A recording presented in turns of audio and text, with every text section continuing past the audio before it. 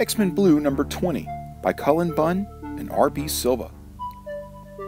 Charles Xavier's son from the future explains to the original X Men that when they left the past, they created a void.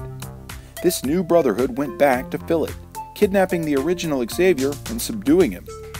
Bloodstorm dissipates and attacks Xorn before she can respond, and when Jean threatens the rest, they attack. They battle, and Magneto tells them that he was surprised by their viciousness. Meanwhile, Jean goes on a mission to find the real professor. Though weak, he calls out to her. She finds him, and she's overwhelmed by their reunion. Back at the fight, Beast signals to the other future X Men they met on their journey, and in an instant, the teams from the dystopian timelines are there to get their revenge. The teams from 2099, Generation X, and even Emma Frost get their chance. The new Charles realizes he's outnumbered and teleports away, in turn fading the other future X Men from existence. And even though some damage to the timeline appears irreversible, the original five students enjoy briefly seeing their old teacher. Xavier explains that when they return to their original time, it has to be at the exact moment they left, he sends them back.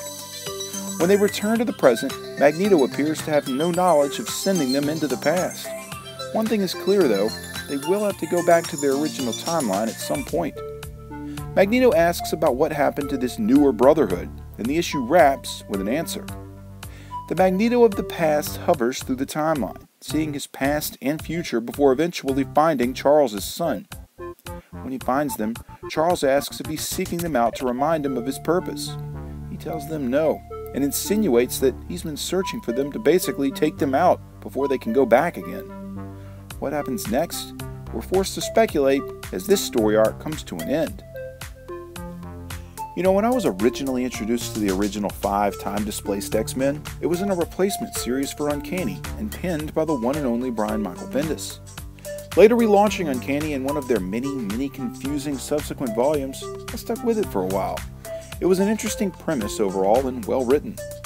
X Men Blue, in comparison to this book's sister series, looks like a masterpiece, while X Men Gold continues to languish.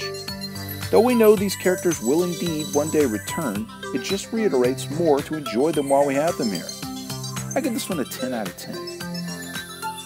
If you like this video, there's hundreds more like it, spanning several current and classic story arcs. Click the boxes here for more playlists. This video is also accompanied by my blog at nerdiestkidyouknow.com. You can also follow links to my Facebook or Twitter pages, as well as a link to this very issue for sale on my eBay page by clicking below. For the Nerdiest Kid You Know, I'm Sam Torito. Thanks for watching.